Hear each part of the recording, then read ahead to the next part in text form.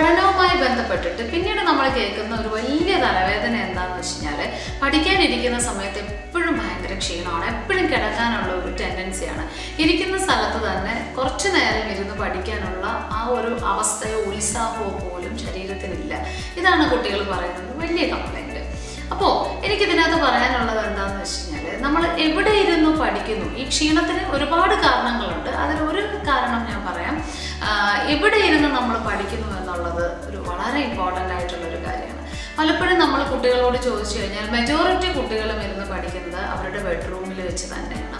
നമ്മളെ സംബന്ധിച്ചിടത്തോളം നമുക്കറിയാം ബെഡ്റൂം എന്ന് പറയുന്നത് നമ്മൾ ഉറങ്ങാൻ വേണ്ടിയിട്ടാണ് നമ്മൾ ഉപയോഗിക്കുന്നത്. അപ്പോൾ അതുകൊണ്ട് തന്നെ നമുക്കിപ്പോൾ ചില സമയത്ത് നല്ല ഭക്ഷണമൊക്കെ കഴിച്ചിട്ട് നിൽക്കുന്ന സമയമാണെങ്കിൽ പോലും നമ്മൾ പോകുമ്പോൾ നല്ല റെസ്റ്റോറന്റ്സിൽ നിന്നും നല്ല ചിക്കന്റെ ഒക്കെ നല്ല പൊരിച്ച ചിക്കന്റെ ഒക്കെ സ്മെല്ല് കേൾക്കുമ്പോൾ ഓട്ടോമാറ്റിക്കലായി ആയിട്ട് നമുക്ക് ഭക്ഷണം കഴിക്കണം എന്നുള്ള ഒരു ടെൻഡൻസി ഉണ്ടാവും. അല്ലെങ്കിൽ ചെയ്യുന്നതൊക്കെ നമുക്ക് മനസ്സിലാക്കാൻ പറ്റും. അപ്പോൾ എന്ന് പറയുന്നത് പോലെ ബെഡ്റൂം എന്ന് പറയുന്നത് ഉറങ്ങാനുള്ള സാഹചര്യങ്ങൾ അല്ലെങ്കിൽ ഉറങ്ങാനുള്ള ഒരു ടെൻഡൻസിയാണ് നമ്മുടെ ബോഡിയിൽ ക്രിയേറ്റ് ചെയ്യപ്പെടുന്നത്. അപ്പോൾ അതുകൊണ്ട് നമ്മൾ ബെഡ്റൂമിൽ ഇരുന്നാണ് പഠിക്കുന്നതെന്നുണ്ടെങ്കിൽ ആദ്യമേ നിങ്ങൾ മനസ്സിലാക്കുക. നമുക്കറിയാം പഠിക്കാനായിട്ട് ബെഡ്റൂമിൽ കയറുമ്പോൾ ആദ്യമൊക്കെ നമ്മൾ ബെഡ്റൂമിൽ ബെഡിൽ ഒരു സൈഡിലിരുന്ന് പഠിക്കുന്നത് കാണും. പിന്നെ കുറച്ച് നേരം അവിടെ കഴിയുമ്പോൾ ഒന്ന് ചാരി ഇരിക്കണം എന്ന് തോന്നും. പിന്നെ അത് കഴിഞ്ഞെങ്കിൽ കരി ഇങ്ങനെ തലയ്ക്ക് കുത്തിയിട്ട് അങ്ങനെ ഇരിക്കണം കിടക്കണം എന്നൊക്കെ തോന്നും.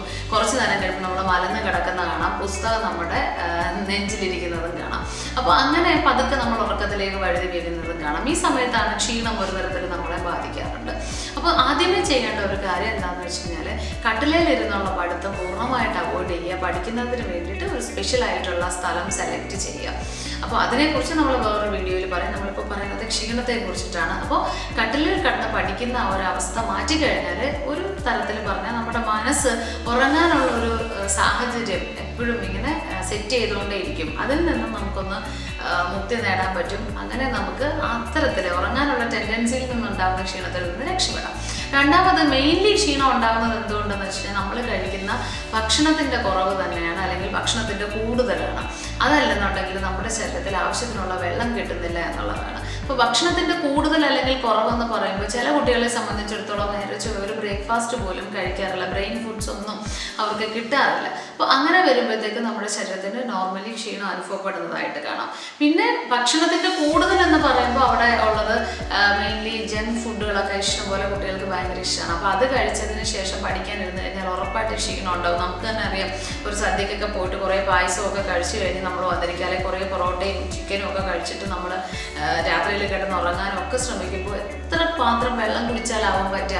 എന്ന് പറഞ്ഞാൽ അത്രയേറെ നമ്മുടെ ശരീരത്തിൽ ബുദ്ധിമുട്ടുകൾ ഉണ്ടാവും അപ്പോൾ ഇതേ അവസ്ഥയാണ് നമ്മൾ പഠന സമയത്തും കണ്ടിന്യൂ ചെയ്യാൻ ഉദ്ദേശിക്കുന്നതെന്നുണ്ടെങ്കിൽ ഇതേ ശാരീരിക അവസ്ഥയിലൂടെ നമ്മൾ കടന്നു പോവുകയും നമ്മൾ ക്ഷീണത്തിന് വിധേയരായി പോകുന്ന ഒരവസ്ഥയും നമുക്ക് കാണാനായിട്ട് സാധിക്കും. അപ്പോൾ അതുകൊണ്ട് പരീക്ഷ എടുക്കുന്ന കാലങ്ങളിൽ ജങ്ക് ഫുഡുകൾ മാക്സിമം അവോയ്ഡ് ചെയ്യുക. പൊറോട്ടയൊക്കെ കഴിക്കുമ്പോൾ എനർജി കൂടുമെന്നുള്ളത് ചിന്തിക്കേണ്ടത്. തീർച്ചയായിട്ടും ഇത് കണ്ടുകൊണ്ടിരിക്കുന്ന മാതാപിതാക്കൾ മക്കൾക്ക് പൊറോട്ട പോലെയുള്ള കാര്യങ്ങൾ പൂർണമായിട്ടും അവോയ്ഡ് ചെയ്യുക. വറുത്തതും പൊരിച്ചതുമായിട്ടുള്ള ഭക്ഷണങ്ങൾ എണ്ണയിൽ വറുത്ത സാധനങ്ങളൊക്കെ തീർച്ചയായിട്ടും അവോയ്ഡ് ചെയ്യാനായിട്ട് ശ്രമിക്കുക. പറ്റുമെങ്കിൽ വെജിറ്റേറിയൻ ഫുഡിനെ കൂടുതലായിട്ട് പ്രൊമോട്ട് ചെയ്യുക. അതുപോലെ തന്നെ നമ്മൾ ഒരുപാട് വെള്ളം കുടിക്കാനായിട്ട് ശ്രമിക്കണം. കാരണം പലപ്പോഴും നമ്മൾ വെള്ളം കുടിക്കാതിരിക്കുന്നത് നമ്മുടെ ബ്രെയിനിന്റെ പ്രവർത്തനങ്ങളെ മന്ദീഭവിപ്പിക്കുന്നതിനും അതുവഴി നമ്മളുടെ കോൺസെൻട്രേഷൻ പവറും അതുപോലെ പഠിക്കാനുള്ള ആ ഒരു അപ്പോഴത്തെ ആ ഒരു ടെൻഡൻസിയും ഒക്കെ കുറഞ്ഞു വരുന്നതായിട്ട് നമുക്ക് കാണാനായിട്ട് സാധിക്കും. അപ്പോൾ എപ്പോഴും പഠിക്കാനിരിക്കുന്ന സമയത്ത് കയ്യിൽ ഒരു കുപ്പി വെള്ളമൊക്കെ ആയിട്ട് വേണം ഓരോ അരമണിക്കൂറിലും അര ഗ്ലാസ് വെള്ളം വെച്ചെങ്കിലും നിങ്ങൾ കുടിക്കാനായിട്ട് ശ്രമിക്കുകയാണെങ്കിൽ നിങ്ങൾക്ക് വെള്ളം വേണ്ടെങ്കിലും യുവർ ബ്രെയിൻ നീഡ്സ് വാട്ടർ എന്ന് മനസ്സിലാക്കുക വെള്ളം കുടിക്കാനായിട്ട് ശ്രമിക്കുക. അപ്പോൾ ഭക്ഷണത്തിൽ കുറച്ചൊക്കെ ജങ്ക് ഫുഡ്സ് ഒക്കെ കഴിക്കണം ഓവർ ഈറ്റിംഗ് ചെയ്യുന്ന ആളുകൾ ജങ്ക് ഫുഡ്സുകളൊക്കെ പരീക്ഷ എടുക്കുന്ന കാലങ്ങളിൽ അവോയ്ഡ് ചെയ്യുക. ഭക്ഷണം കഴിക്കാതിരിക്കുന്നവർ നല്ല രീതിയിൽ മിതമായ രീതിയിൽ നമ്മുടെ ശരീരത്തിന് ആവശ്യമുള്ള അത്രയും പോഷകങ്ങൾ കിട്ടത്തക്ക രീതിയിൽ ഭക്ഷണം കഴിക്കാനായിട്ട് ശ്രമിക്കുക. നല്ല രീതിയിൽ വെള്ളം കുടിക്കാനായിട്ട് ശ്രമിക്കുക. അതുപോലെ തന്നെ പഠിക്കാനിരിക്കുന്ന സ്ഥലം ബെഡ്റൂമിൽ നിന്നും മാറ്റി എല്ലാ ദിവസവും സ്പെഷ്യൽ ആയിട്ടുള്ള ഒരു സ്ഥലത്ത് ഇരിക്കുന്ന അതായത് എല്ലാ ദിവസവും ഒരേ സ്ഥലത്ത് തന്നെ ഇരിക്കണം. അതൊരിക്കലും നിങ്ങളുടെ ഉറക്കത്തിന് ഹേതുവാകുന്ന നിങ്ങളുടെ ബെഡ്റൂമോ നിങ്ങളുടെ കട്ടിലോ ആവാതിരിക്കട്ടെ.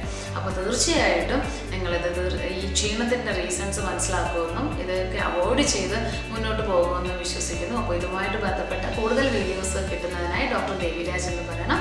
എന്റെ ഫേസ്ബുക്ക് പേജും യൂട്യൂബ് ചാനലും സബ്സ്ക്രൈബ് ചെയ്യുക.